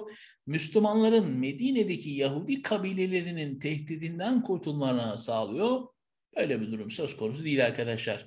Zaten 628 yılında Hudeybiye imzalandığında Yahudi kabileleri zaten Medine'de çıkmış, hepsi sürülmüş ve Hudeybiye Antlaşması'nın da keza neyle alakası yok? Yahudi kabileleriyle arkadaşlar herhangi bir bağlantısı, herhangi bir arkadaşlar dikkat ediniz e, alakası yok. Tamam mı? Buna özellikle dikkat edelim arkadaşlar. 2021 KPSS o çok konuşulan soru. Ebu Ubeyde bin Cerrah komutasındaki seriye. Hangisi arkadaşlar bu da? Siful Bahar serisi, azıkların tükenmesi, habat adı verilen ağaç yapraklarının yenilmesi, daha sonra işte bu amber balıkları vardı. Burada yazmışım diyorum ama sahile vurmuş amber balıklarını yiyorlar. Ee, ve yine belli bir müddet devam ediyorlar ve geri dönüyorlar. Bu hangisidir? Siful Bahar. Zaten sahile vurmuş balıklardan da Siful Bahar'ı yapanlar vardı. Ama en çok üzüldüğüm neydi biliyor musunuz arkadaşlar? Mesela bir öğrencimiz vardı Ertuğrul diye. Geçen sene Giresun'dan öğrencimiz de atandı zaten. E, ee, 70 küsür yaptı net olarak Ertuğrul. Mesela Ertuğrul geçen sene 70 netin üzerine çıktı arkadaşlar. 2021'de de sınava girmişti ama bu soruyu yanlış yaptı. Niye yanlış yaptı biliyor musunuz? Hocam diyor çalıştığım kaynakta bu böyle yazmıyordu diyor. Aslında Ertuğrul sevgili arkadaşlar e, iyi çalışmıştı. Gerçekten 2021'i de kaliteli çalışmıştı. Fakat doğru kaynak, doğru noktalar. Bu da çok önemli sevgili arkadaşlar. O yüzden baz alacağınız kaynak TDV. Yani devletin kendi kaynağı. Benim, Ahmet'in, Mahmut'un, Fatma'nın, Hüseyin'in kaynakları çok önemli değil. Ha, bu kaynaklar TDV baz alarak hazırlanıyorsa kullanılabilir. Ama TDV baz alınmadan hazırlanılan kaynaklar arkadaşlar Sifül Bahr'da olduğu gibi sizi ham yapar. Ve yanlış yaparsınız. Yanlış yaptığınız için de sevgili arkadaşlar hani şey de olmaz. E, nasıl diyeyim size? E, gerekçe de olmuyor. Şimdi soruyu yanlış yapıyorsun. Sorumlu da yok ortada. Sen e, sana bu şekilde öğretilmiş bildiğini yapıyorsun ama bildiğin yanlışmış gibi oluyor. O yüzden çalıştığınız kaynaklara özellikle dikkat edin. Bu sadece ÖABT için de geçerli değil. Tüm sınavlar için geçerli arkadaşlar. Tamam mı? Rabi çok önemli değil. Batlı Nahli'yi konuştuk zaten. Haramayda savaşmak.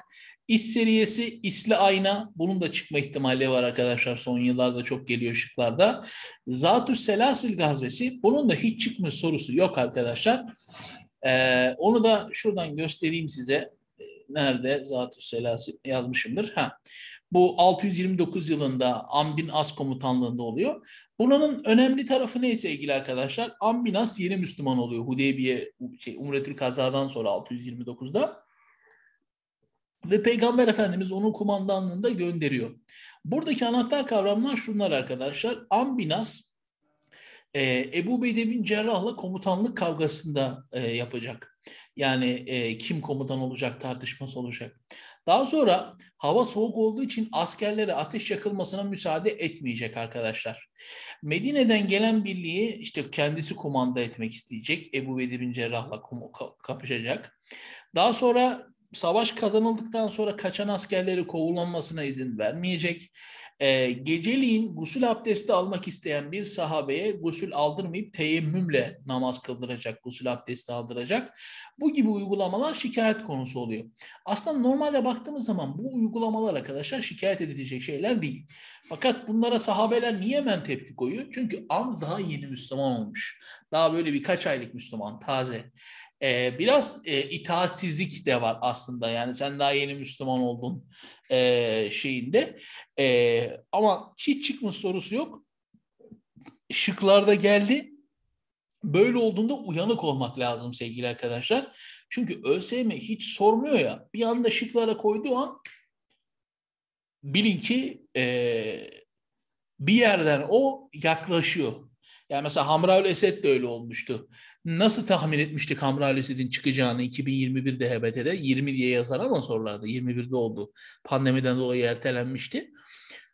2021 KPSS'de hem DİKAP'ta hem ihalede şıklarda Hamraül Esed vardı arkadaşlar. 21'de HBT'de de sorusu vardı. Dikkat etmek lazım tamam mı? Bu ee, paralellikleri doğru okuduğumuz zaman e, rahat bir şekilde soruların üç aşağı beş yukarı nereden geldiğini görebiliyoruz arkadaşlar. Zatüs selasile de dikkat etmek lazım. 2014 DHBT sorusu çıkabileceğini düşünüyorum. Bunun da nasıl çıkacağını şimdi size söyleyeceğim. Hz. Muhammed Mekke'nin fethi sonrasında kendilerine yapılacak muameleyi endişeyle bekleyen Mekkelilere size ne yapacağımı düşünüyorsunuz diye sormuş. Onlar da senden iyilik bekliyoruz. Çünkü sen hayırlı bir kardeşsin cevabını vermişlerdi. Bunun üzerine Hazreti Muhammed size Yusuf'un kardeşlerine hitap ettiği gibi hitap edeceğim. Bugün sizler kınanmayacaksınız. Gidin hepiniz serbestsiniz diyor arkadaşlar. Bu hangi kavramla ifade ediliyor? Tüleka kavramı. Tüleka talikten geliyor. Serbest bırakmak arkadaşlar.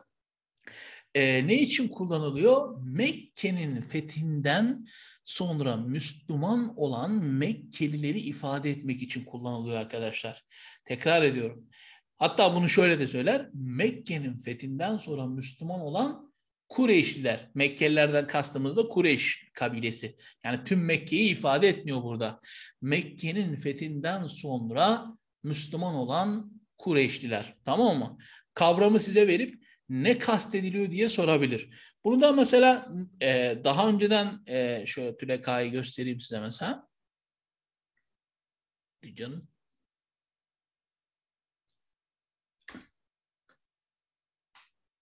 Niye böyle olmuş? Neyse çok önemli değil. Şu tarz bekliyorum arkadaşlar özellikle bunun sorusunu da. Hemen e, göstereyim 92 burası ama. Mesela Mevali'yi şöyle sordu ya hatırlayın hemen. Mevali kavram sordu. Daha sonra mevaliden kastedilen nedir diye sordu ya. Şu şekilde bakın 2022 KPSS'de. Aynı bu formatta Tuleka'dan bahsedilen grup aşağıdakilerden hangisidir?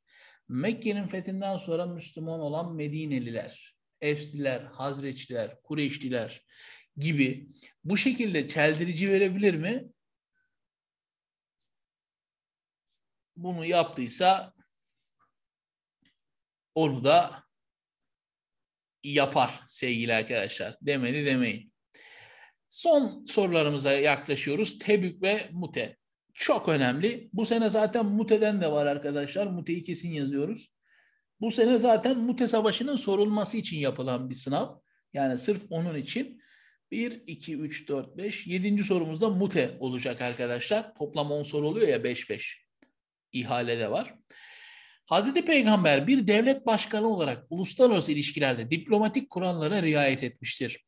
O bu çerçevede elçi dokunulmazlığına da büyük özen göstermiş, inancına veya söylemine bakmaksızın elçilere hoşgörüyle davranmıştır. Elçi olarak gönderdiği sahabelere karşı da aynı hoşgörünün gösterilmesini beklemiş.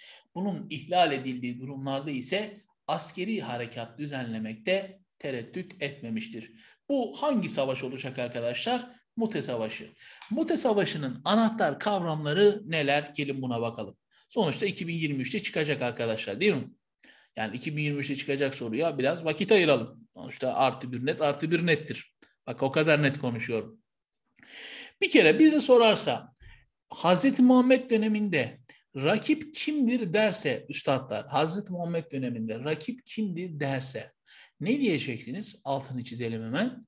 Şey, üzüm, Bizans derse ya Mute olacak ya Tebük. İkisinden biri. Mute Gassaniler ve Bizans'a karşı yapılıyor sevgili arkadaşlar. Sebebi nedir? Gassani emirinin Hazreti Peygamber'in elçisini şehit etmesi. Burada Gassani emiri kendisine gönderilen elçiyi şehit etmiyor sevgili arkadaşlar. Busra emirine gönderileni şehit ediyor. Üçkağıtçı adam. Niye? Kendine gönderileni şehit etse top üzerine kalacak. Ama başkasına gönderileni yolda şehit ediyor ki ihale oraya kalsın biz orayla papaz olalım. Ama tabii biz yer miyiz? Yemeyiz. Gassani emirinin elçi şehit edilmesi. Kesinlikle en önemli anahtar kavramlardan biri arkadaşlar. Elçinin şehit edilmesi. 3000 kişilik bir ordumuz var. Peygamber Efendimiz 3000 kişilik bir ordu hazırlıyor ve sırasıyla 3 tane komutan tayin ediyor arkadaşlar. Zeyd bin Harise, Cafer bin Ebu Talip, Abdullah bin Revaha. O yüzden bu orduya Ceyşül Ümera deniyor. Peki hocam Bizans'a karşı savaşacağız. Niye 3000 kişilik bir ordu? Çünkü Bizans'a karşı savaşacağımızı bilmiyoruz arkadaşlar. Biz bu Gassanileri bir tokatlayıp geleceğiz diye yola çıkıyoruz. Bizans karşımıza çıkıyor. Niye? Çünkü Gassaniler kimin emirleriydi? Kime bağlı bir devletti? Bizans'a karşı bağlı. Bizans'a bağlı bir devletti. Üç komutan da Zeyd bin Harise, Cafer bin Ebu Talip ve Abdullah bin Revaha da sevgili arkadaşlar şehit oluyor. Ve yerine dördüncü komutan olarak ordu Halid bin Velid'i seçiyor. Ben bunun sorusunu sormuştum Dejavu Soru Bankası'nda arkadaşlar. Demiştim ki, dikkat ediniz, demiştim ki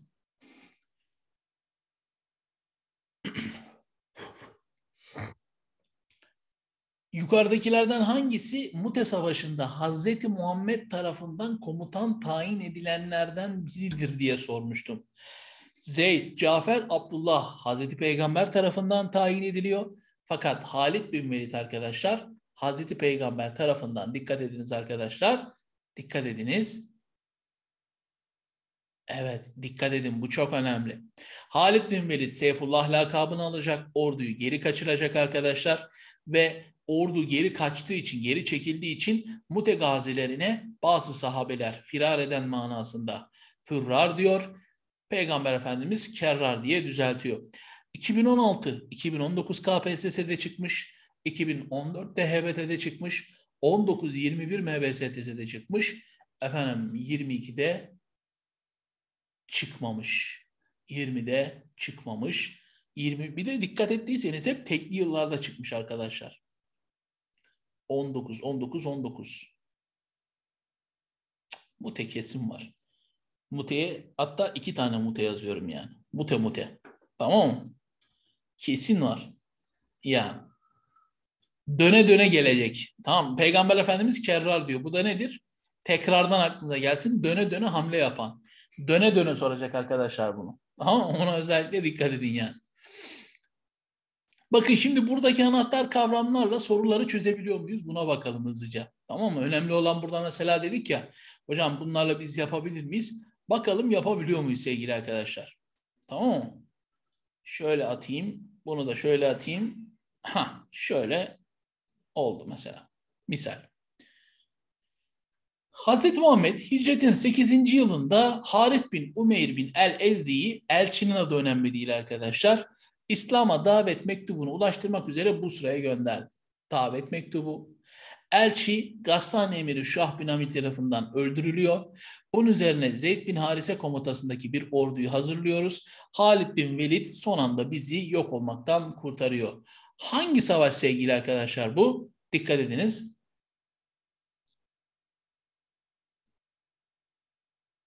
Heh. Mute, evet, Mute Savaşı sevgili arkadaşlar. Bak anahtar kavramlar neler? İslam'a davet mektubu, elçi öldürülmesi, Zeyd bin Harise, Halid bin Velid, Hristiyan Araplar. Yine geliyoruz aynı soruya. Hicretin 8. yılında Busra'ya gönderdiği elçi yolda şehit edildi. Cümle birebir aynı.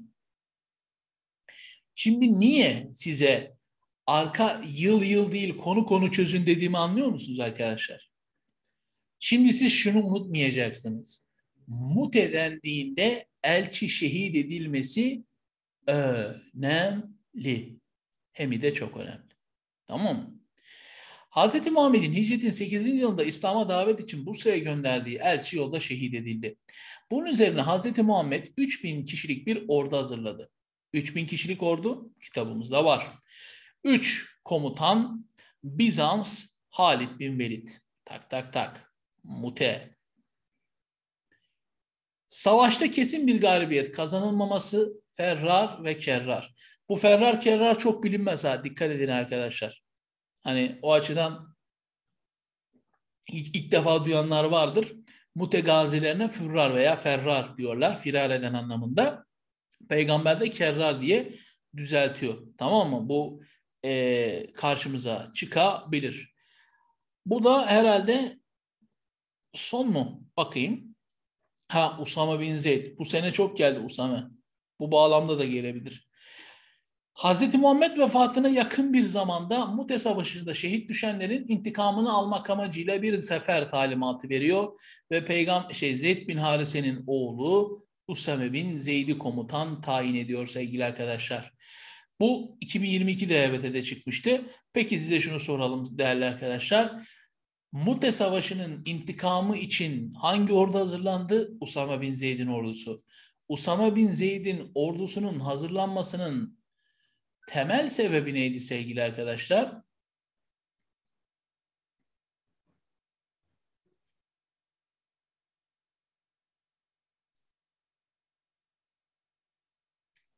İntikam. Mesela bak 2020 MBSTS. Hazreti Peygamber Usame bin Zeyd'i getiriyor. Sebebi neydi? Mute Savaşı'nın intikamı. Mute Savaşı intikamı için ordu düzenleniyor. Komutan kimdi? 22 diyabet. Bunu arka arkaya çözdüğünüzde anlarsınız arkadaşlar. Sebep DHBT, MBSTS. Hele ki DHBT ve MBSTS'de çıktıysa, KPSS'de çıkmadıysa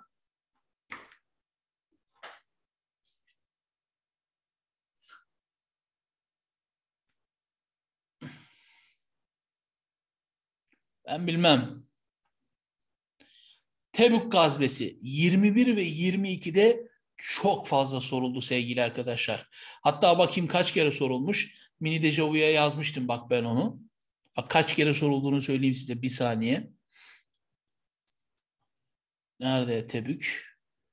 Bak 2015, 2016 KPSS, 2020 KPSS'de iki defa, 21 KPSS sorulmuş. 1, 2, 3, 4, 5 kere KPSS'de gelmiş Tebük.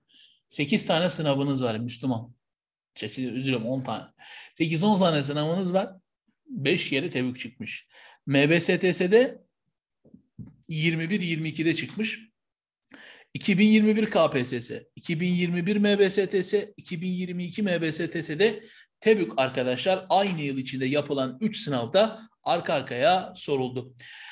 Tebük gazvesi özellikle Tevbe suresinde geçer. Ayetler üzerinden çok sorulur arkadaşlar. Dejavu konu anlatım kitabında bunları yazdım. Muhakkak özellikle Tebük gazvesi açısından ayetler çok önemli. Ayeti yapıştırır, sorar. Affetmez hocam. Tamam mı? Burası çok önemli. Ee, şöyle, onun kitabı olan arkadaşlar da yine paylaşırsa e, çok güzel olur. Ha şunlara bak. Tevbe 29'dan başlar. Ee, burada alakalı ayetleri yazdım. Bak TB 118'i verdi sordu. 90-93'ü sordu. 94-98'i sordu. 29'u verdi sordu. 38-42 iki kere sordu. Çok soruyor. Özellikle dikkat ediniz. Peki Tebük gazvesinin olayı ne? Tebük gazvesinde arkadaşlar Bizans'a karşı son söylüyoruz bitiriyoruz şimdi. Bizans'a karşı savaşıyoruz. Ee, özellikle 30 bin bir kişilik bir ordu hazırlayacağız arkadaşlar ve özellikle havaların şu anda olduğu gibi aşırı sıcak, hasat mevsimi olması, arka arkaya yapılan savaşlar sebebiyle, yorgun olmak istenmesi sebebiyle Müslümanlar savaşmak istemiyor. Bunun üzerine arkadaşlar Tevbe 38-40 arasında geçen iki defa aynı soruyu sordu. Müslümanlar uyarılıyor. Ne diyorlar? Siz dünyayı ahirete mi tercih ediyorsunuz? Ey iman edenler size ne oldu ki Allah yolunda savaşa çıkın denildiği zaman yere yığılıp kalıyorsunuz. Dünya hayatını ahirete mi tercih ediyorsunuz? Nedir sevgili arkadaşlar bu? Mute değil, Tebük. Zaten Bizans dersi arkadaşlar otomatikman ya Mute ya Tebük diyeceksiniz. Bakın 2016 KPSS, 2015 KPSS aynı soru. Aradaki farkı bana söyleyebilir misiniz?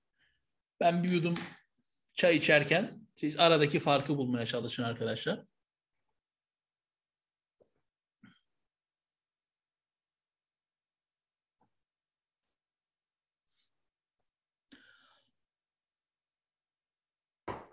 Değilsene hocam 39. ayeti de vermiş. Aa, 38'de 39. ayeti de vermiş hocam. Ya lütfen bak bunu görmüyorsunuz. İşte bak havuz değişiyor hocam bak. Bir dahakine 40'ı da yazar yani. Ne olacak? Olabilir. tamam mı? 38, 39, 40 ama soru farklı. Şurası hocam 38, 40. Eğer toplanıp sefer, seferber olmazsanız Allah size elem veren bir azapla cezalandırır diyecek. Siz peygambere yardımcı olmasanız da önemli değil. Nitekim inkarcılar onu iki kişiden biri olarak yurdundan çıkardıklarında Allah ona yardım etmişti diye. O da arkadaşına la tehsen innallaha me'ana demişti. Bu ayetin devamı arkadaşlar yine nedir? Tebük seferi. Tebük seferine damga vuran asıl olay zorluklarla yapılması evet ama bununla beraber arkadaşlar bir tarafta gerçekten savaşa katılmak isteyip katılamayanlar var. imkansızlıktan, parasızlıktan dolayı. Ve yedi kişi, bu yedi kişi Peygamber Efendimiz'e geliyor, binek istiyor. O dönemlerde arkadaşlar e, neden binek isteniyor? Buna özellikle dikkat edelim. E, o dönemde savaşa katılacaksanız arkadaşlar zırhınız, silahınız, atınızı falan siz getiriyorsunuz. Yani devlet size vermiyor. Bu adamlar da savaşa katılmak istiyor ama atları matları bir şeyleri yok. Peygamber Efendimiz'den binek istiyorlar fakat Peygamber Efendimiz arkadaşlar veremiyor. Niye? Yok arkadaşlar yok. O kadar sıkıntıdayız düşün. Ve bu adamlar ağlaya ağlaya peygamberin yanından gidiyorlar. Ve bunlar ayet-i kerimede ne geçecek? Bekkayin diye geçecek. Tevbe suresi 90-93 arkadaşlar. Bekkain kavramını görünce neye gelecek aklınıza? Tebük. 2020'de bu soru çıktığında arkadaşlar hiç kimse Bekkain'in Tebük'le alakalı olduğunu bilmiyordu. Şimdi mangalda kül bıraktıklarına bakmayın. tamam mı? Kül bırakmadıklarına bakmayın. Çıktığı zaman Bekkain ne alaka diye 10 kişiden 5'i soruyordu. Emin olabilirsiniz. Bu da Tevbe suresi 90-93'te geçer arkadaşlar. Şurada bakınız. Bunu da ben çıkacağı kanaatindeyim. Bedevilerden e, dikkat ediniz. E, nerede orası? 92. Ha, kendilerine binek sağlaman için sana gelip de sizi bindirecek bir şey bulamıyorum diye cevap verdiğin zaman harcayacak bir şey bulamamanın üzüntüsünden gözyaşı dökerek geri dönenlere. Bekkain oradan geliyor. Gözyaşı dökenler arkadaşlar. Bununla beraber bir de arkadaşlar şey var. Üç kişi de. Bu da iki kez çıkmış soru olarak geldi. Kaab bin Malik, Mürare bin Rebi ve Hilal bin Ümeyye. En son 2022 MBS'desi soruldu. Bu üç kişi de sebepsiz yere arkadaşlar dikkat ediniz e, savaştan kaçıyorlar. E, Bakın bunu mesela burada sormuştu ve daha sonra bunlar hakkında Tevbe suresi 118. ayet iniyor. Allah savaştan geri kalan 3 kişinin tövbesini kabul etti diye Tevbe 118 arkadaşlar. Bu 2014 ve 2022'de çıkmış soru olarak geldi. Bununla beraber Tebük'le alakalı ekstra bir iki şey daha söyleyeceğim. Bunlar çok bilinmiyor. Mesela 2020'de Bekkain bilinmiyor ya. Şimdi anlatacaklarım da bu sene bilinmiyor arkadaşlar. Ha 2024-25'te bu sınava çalışan arkadaşlar olur. Ben yaşar görürsem o zaman bunu da söylerim, hatırlatırım. Derim ki 23'te bak arkadaşlar bunlar da bilinmiyordu diye. Şimdi bakın birincisi arkadaşlar. Abdullah İbni Übey burada geri vites yapıyor. Bir Uhud'da da yapıyordu biliyorsunuz. Adam geri vitesin kralı. Burada da ne diyor biliyor musunuz? Buna gazvetül fadiha deniyor o yüzden. Münafıkların asıl yüzünü ortaya çıkaran gazve. Ee, Bizans'a karşı savaşacağımızı duyunca Abdullah İbni Bey diyor ki Muhammed herhalde Rumlara karşı savaşmayı çocuk oyuncağı sanıyor. Ben o arkadaşlarının direklere bağlanıp kırbaçlandığını görür gibiyim diyerek geri dönüyor arkadaşlar. Gene satış. Daha sonra biz tabii Tebü'ye geldiğimiz zaman bakıyoruz ki kimse yok. Madem öyle ya oradaki küçük irili ufaklı kabileler fethediliyor arkadaşlar ve burada ilk defa yine Tevbe suresinde yer alan ne iniyor sevgili arkadaşlar? Cizye ayeti iniyor. Dikkat ediniz. Tevbe 29. Burada dikkat ediniz. Allah ve Resulünün yasakladığını yasak saymayan ehli kitaptan cizye verinceye kadar savaşın. Ve ilk defa Tebük gazvesinde arkadaşlar bu iniyor ve burada uygulanıyor. O dönemde Dımatül Cendel Yahudilerine, Hristiyanlarına uygulanıyor o bölgede yaşayanlara. Ama cizye Hayber değil. Cizye Tebük arkadaşlar. Mescidi Dırar inşa ediliyor. Buranın geri dönüş yılında yıkılıyor arkadaşlar. Hazreti Peygamber'e burada bir e, suikast teşebbüsü var. Huzeyfe bin Yaman bunu engelliyor değerli arkadaşlar. E, bir onda ayetini şurada göstereyim. Neredeydi? Şu şurası şey bakın Dırar Mescidi olayı. Şurası. Orada asla namaza durma. Şu üç defa çıktı. Buna dikkat edin. şurası işte bu 74 ve 94-98'de bu suikast şeyleri anlatılıyor. Münafıkların nasıl bahaneler ürettiği anlatılıyor arkadaşlar. Baba var ya kesin geliyorduk ya. Ya biz yoldaydık. Ya haberimiz olsaydı vallahi yardım ederdik falan. Böyle yalanlar söyleniyor.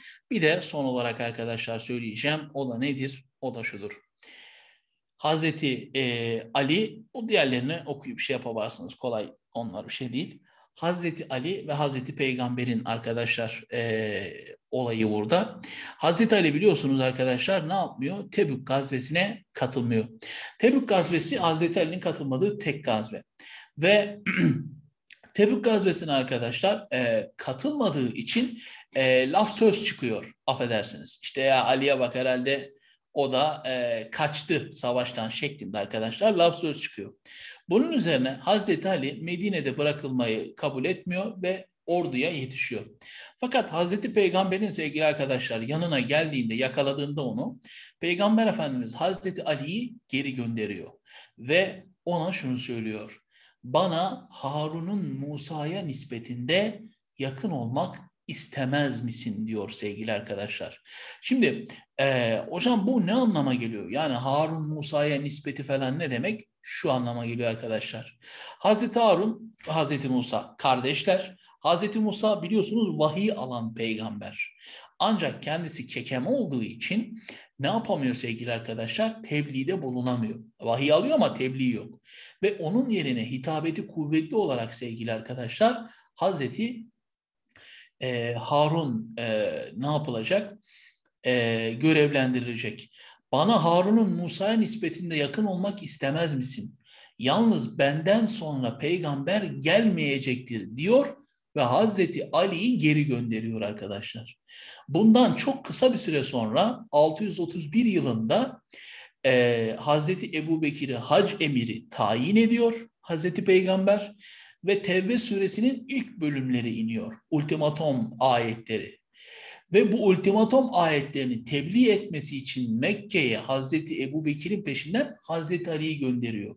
Ve Şia Bu olayları Kırtas'tır, Gadirhum'dur ve bu rivayetleri Hazreti Ali'nin Peygamber Efendimiz tarafından sevgili arkadaşlar halife tayin edildiğine dair ya da peygamberliğinin devamı onu gördüğüne dair arkadaşlar bir e, yorumlama faaliyeti getiriyor oluyor. Bu Musa Harun kıssası şeyde de geçer olayı. TDV'de de geçer. Bunu sorsa güzel soru olur. Çok kişi yapabilir mi? Çok e, yapabileceği kanaatinde değilim açıkçası sevgili arkadaşlar. Tamam mı? Evet. Şia özellikle e, bunu bunu nasıl sorar hocam? Olayı anlatır. Bu hangi gazve esnasında olmuştur der. Soru net bu. Hangi gazve esnasında olmuştur? Bilgileri verir ne zaman olmuştur diye bunu sorar. Onun dışında üstadlar her ne kadar çıkmış sorusu olmasa bile ben e, burada Hayber ve e, nerede Huneyn gazvelerine de bir kısaca değinmek istiyorum. Direkt çıkmış sorusu olmasa bile potansiyel çıkabilir arkadaşlar burada.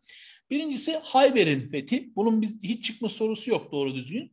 Ee, şeyde en son geldi. MVSTS'de geldi 23'te. Hayber'le alakalı rakibimizin yani Yahudilere karşı 3 Yahudi kabilesinin sürülmesini saymazsanız arkadaşlar tek savaşımız bu Yahudilere karşı. Peygamber Efendimiz Hayber fethine giderken sevgili arkadaşlar bizimle sadece cihada rağbet edenler gelsin e, buyuruyor.